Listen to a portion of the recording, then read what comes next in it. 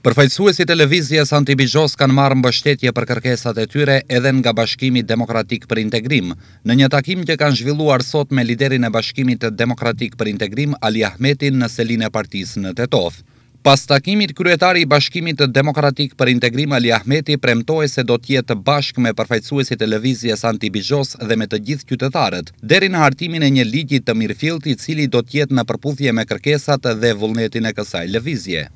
U zotuam të gjithë bashkë, ashtu siç i kanë patur dyrt e hapura deri më tani në të gjitha institucionet, si në komuna, ashtu edhe tek zyrat e deputetëvet. ashtu edhe në zyrat e Bashkimit Demokratik për Integrim, që në këtë front do jemi bashkë, sepse mendojmë që i bojmë një të mirë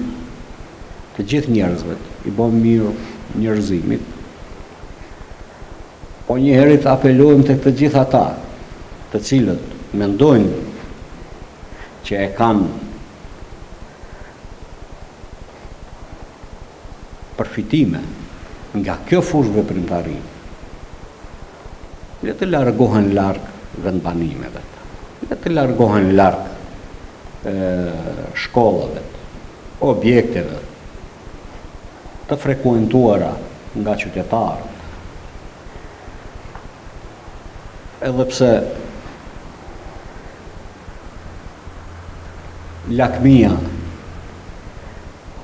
Ka prish gjithçka së paku ne duam që lakmive të pafrenueshme t'u vëndojmë korniza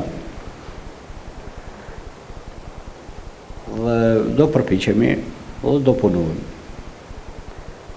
Që këto çështje të sanksionohen edhe me ligj dhe do jemi bashkë deri në fund,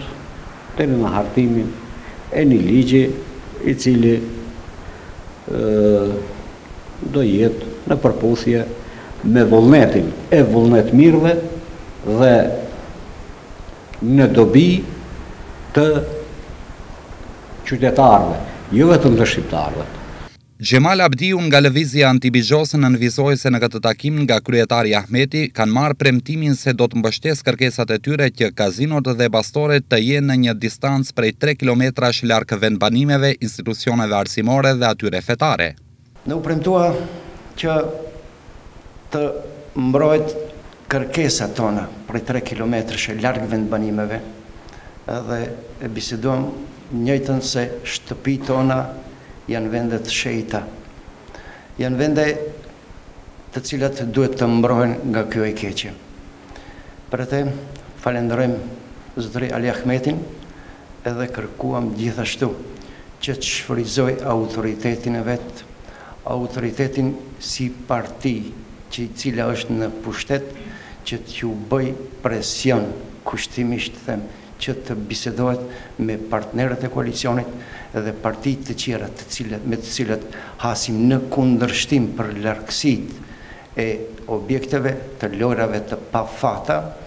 dhe besojmë se do të bindemi që të mundemi të sjellim një ligj sa më të sa më cilësor dhe me çdo kusht që të largojmë të gjitha bastoret, kazinot